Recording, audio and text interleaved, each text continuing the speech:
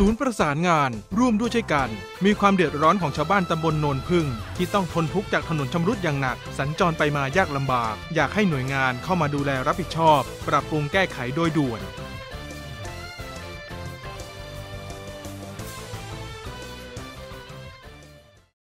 ทันทีที่ศูนย์ประสานงาน ร่วมด้วยช่วยการสำนึกรักบ้านเกิด จังหวัดอุบลราชธานี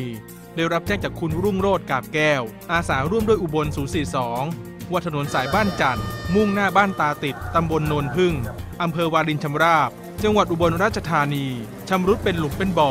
ชาวบ้านสัญจรลำบาก ยิ่งช่วงฤดูฝน มีน้ำขังทำให้เกิดอุบัติเหตุบ่อยครั้ง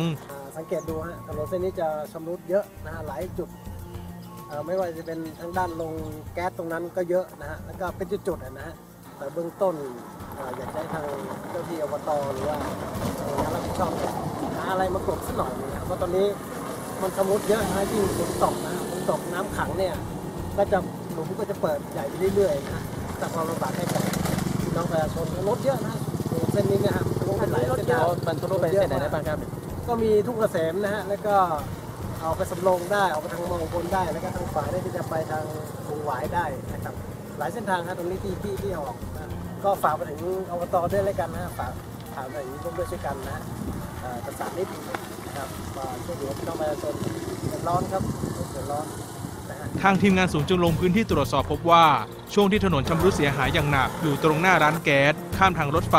และช่วงท้ายหมู่บ้านจันทร์มุ่งหน้าบ้านตาติด ซึ่งถนนสายบ้านจันทร์นี้ นับว่าเป็นถนนสายหลัก ชาวบ้านสามารถใช้เดินทางผ่านไปยังหลายหมู่บ้าน ทางทีมงานศูนย์จึงได้ประสานนายกองค์การบริหารส่วนตำบลโนนพึ่ง ซึ่งรับเรื่องและชี้แจงว่า ทางองค์การบริหารส่วนตำบล ได้รับการร้องเรียนจากชาวบ้านแล้ว และได้ลงพื้นที่ซ่อมบำรุงมาหลายครั้ง